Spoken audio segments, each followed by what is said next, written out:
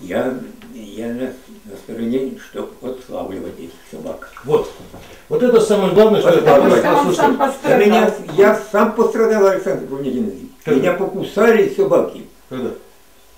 А вот года Два. два, наверное. Да вы что? А, Я что? шел в госпитале по Чехова, и то оттуда какая-то его чарка, наверное, сзаду меня, как хватит, я и не ожидал. Да? Она меня повалила, и второй раз еще хватило за грудь.